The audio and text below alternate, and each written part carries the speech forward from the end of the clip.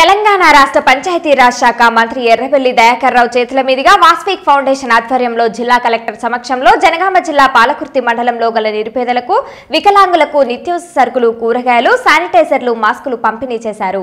అనంతరం మంత్రి దయాకర్ రావు మాట్లాడుతూ ఈ విపత్కర సమయంలో అనేక రకాలుగా సేవలందిస్తున్న Vasfik foundation chairman Nidugunda Naresh Kumar vice chairman Nukala Bhaskar Reddy అదేవిధంగా ఫౌండేషన్ బృందాన్ని అభినందిస్తూ ఇలాంటి సేవలు మరెన్నో చేయాలని మంత్రి గారు ఆకాంక్షించారు. అదేవిధంగా స్టేషన్ గన్పూర్ నియోజకవర్గ ఎమ్మెల్యే తాటికొండ రాజయ్య గారి చేతుల మీదుగా పదవ తరగతి పరీక్షలు రాసే విద్యార్థులకి మాస్కులు శానిటైజర్లు డీఈఓకి అందించడం జరిగింది.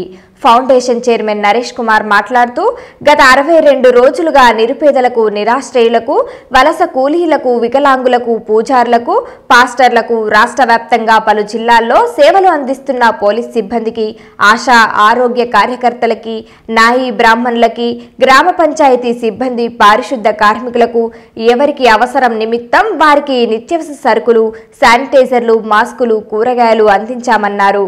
జిల్లా వ్యాప్తంగా పదవ తరగతి పరీక్షలు రాసే విద్యార్థులకు మాస్కులు అన్ని సెంటర్లకు శానిటైజర్లు కలెక్టర్ చేతుల మీదుగా డీఈఓకి అందించడం జరిగిందన్నారు.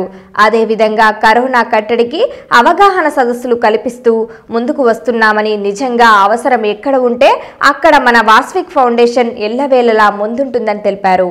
ఇక ఈ కార్యక్రమంలో Vasvik foundation vice chairman Nukala Bhaskar Reddy general secretary Mahesh సభ్యులు శ్రీను ఉపేందర్ బాలకృష్ణ మనోహర్ ప్రకాష్ సేవెల్లి సంపత్ తొర్రూరు ఎంపీపీ నాగిరెడ్డి నాయకులు తదితరులు పాల్గొన్నారు.